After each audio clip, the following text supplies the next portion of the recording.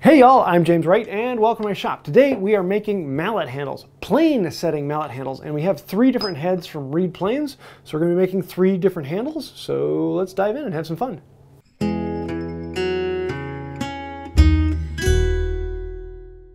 So, um, hammerhead from Reed Planes.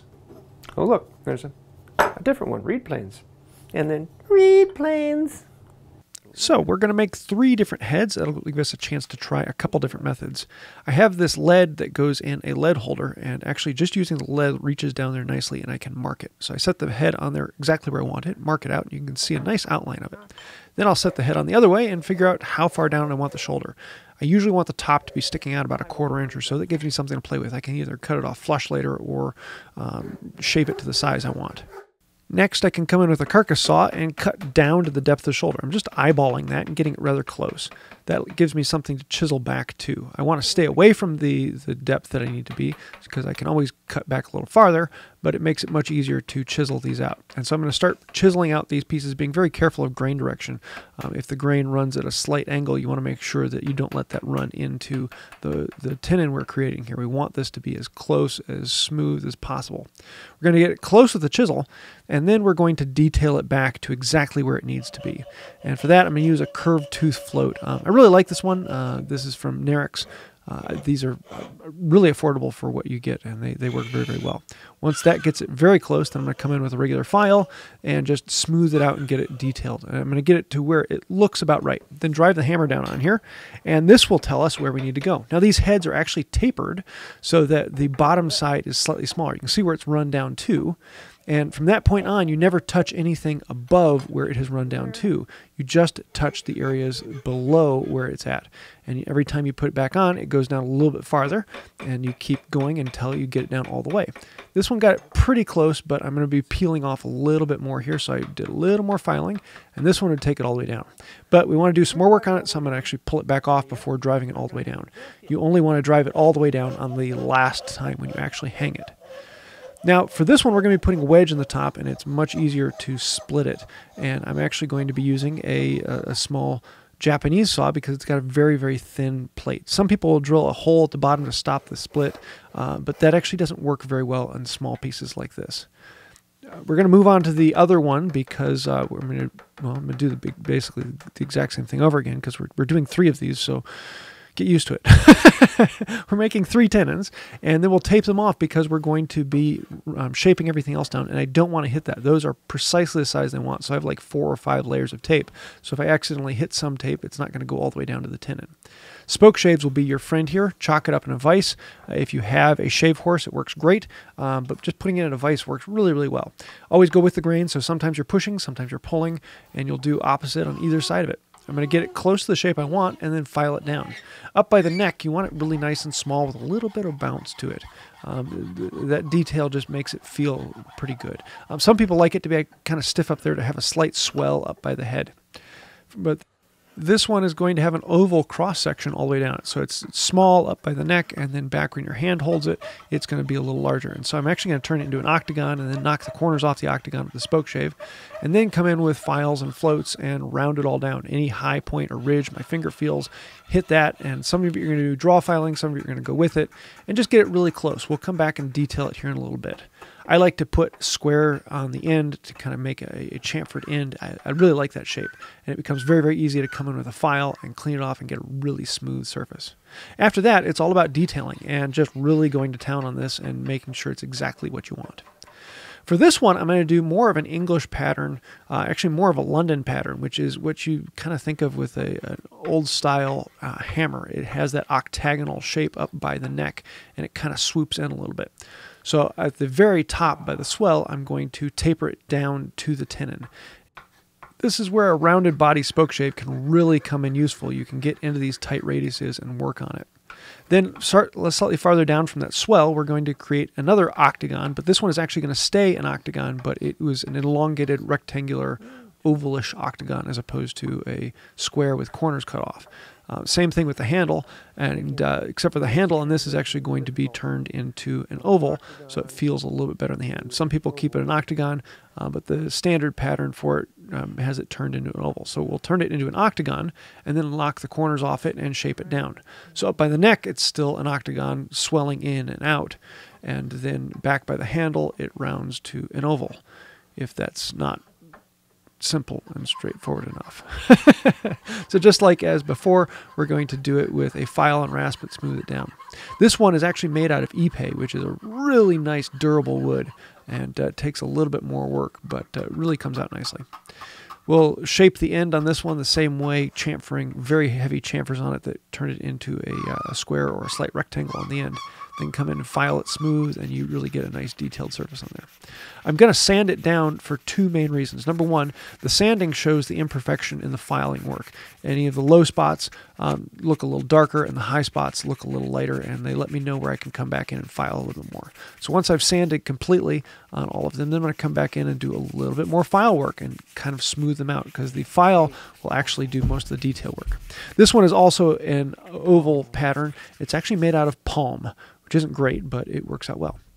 Once we have those done, we're going to start working on the face of the uh, the large London pattern. This is a, a, wooden face so that it doesn't dent up the, the plane when you hit it. So we're going to cut off a small block that is squared to the same size as the head. And I'm going to plane it down to precisely the same size and then cut one end off nice and square. I could put it on the shooting board and shoot it up um, but uh, I actually kind of like uh, playing it like this. It just becomes a little bit more fun to work with a small piece. I also need to know how deep it is because I want the bottom of this to touch the bottom of the socket. So I'm going to mark in where that is. Then I can square off a line around it and I can cut in uh, the shoulder on this because it's going to create a round tenon just like the top of the handle.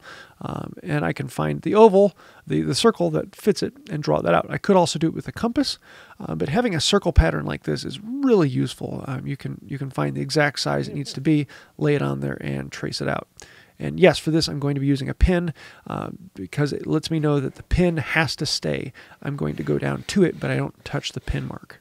Then, uh, just like we did with the, the tenon before, we're going to cut down to the shoulder. Get close to it, but stay away from it. You can always cut off a little bit more. We don't want to cut down into it. And I'm just going to eyeball the depth on there, turn it around, and chisel off the excess. This gets it really close to that line, and I can, I can take off quite a bit by chiseling it. Again, you're going to have to be very careful of the grain direction and make sure that it, it, it runs smoothly rather than running into the tenon. This is um, small spalted hard maple, really, really nice wood for this, uh, as well as its matching handle is made out of the same thing.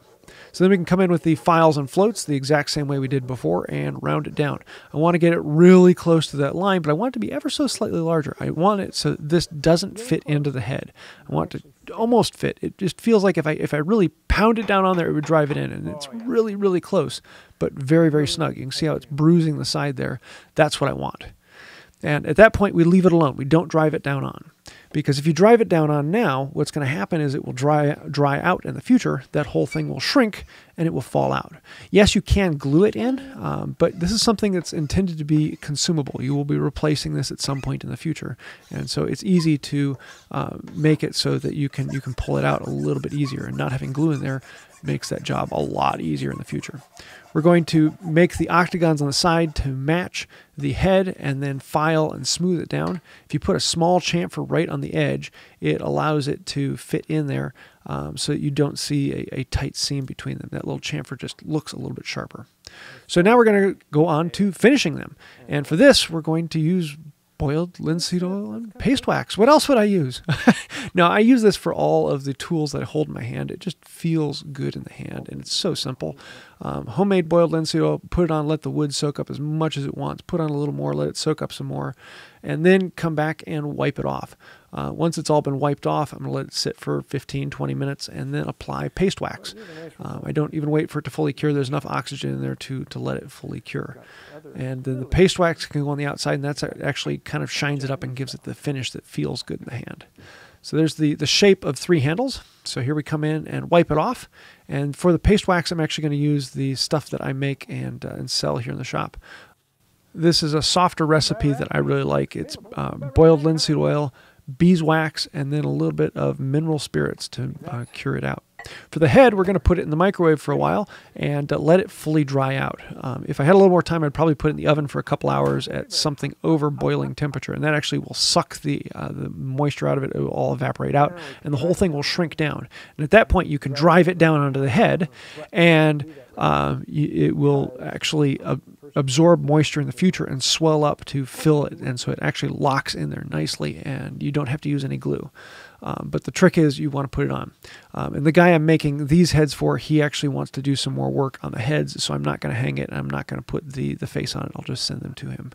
However, for the small one on the palm, uh, this one he wants me to, uh, to make it. To hang the head, we need a wedge. And we have all these little split offs that came when we made the tenon. We chiseled them off and they're down on the ground. So we're going to pick these up. It's really easy to hold it and shave it down or put it into a dog. A lot of people are like, oh no, you're going to run into wood. Well, it's aluminum. And so the aluminum will dent up and not the chisel. And it actually works really well. And then we can drive it in here. Now, sometimes you get lucky and you can just put it on the wedge and drive it in. And this one was getting really tight. And I probably could have, but I could have also broken the wedge.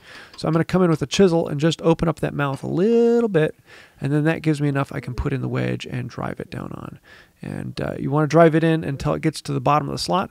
The slot is not cut as long as the whole tenon, and this wedge is a lot longer because it came off of one of the larger tenons, so there's a good bit extra sticking out. Then we can cut it off to the right length and trim it down. Um, I'll use a, a chisel to shape it close and then smooth it off with the file, and that's it. That's how you hang them. They're really, really simple, really easy, and you get to have a lot of fun eh, kind of experimenting and playing on your own. Lots of fun.